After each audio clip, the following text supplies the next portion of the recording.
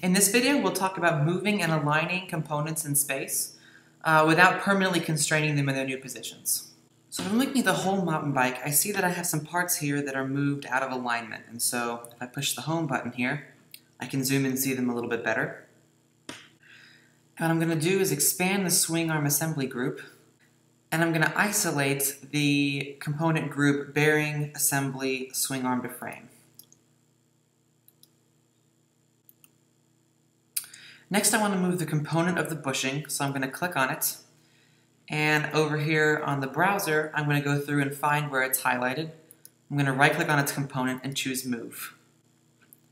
For the, D the Z distance, I'm going to choose negative 20 millimeters. And I'm going to click OK. So what we've done here is we've moved this component and not just the body, so its origin is now realigned with the global origin. And at the same time, we've only moved it. We haven't constrained it to where it currently is, and so we can go back and move it anywhere that we want. There's no, um, there's no forces that are saying we can't change that movement that we just moved it to. Um, another way to move things is to align them. And so let's say to get this bearing in between these two, uh, these two parts here, I'm going to want to align it.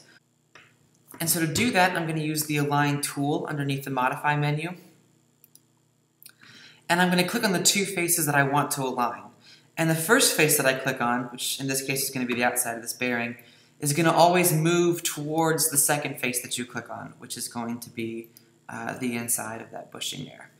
It's going to automatically align it. I can say OK. And now we'll see that we have these aligned parts. Uh, and again, this is only moving it in space. It's not constraining it in space.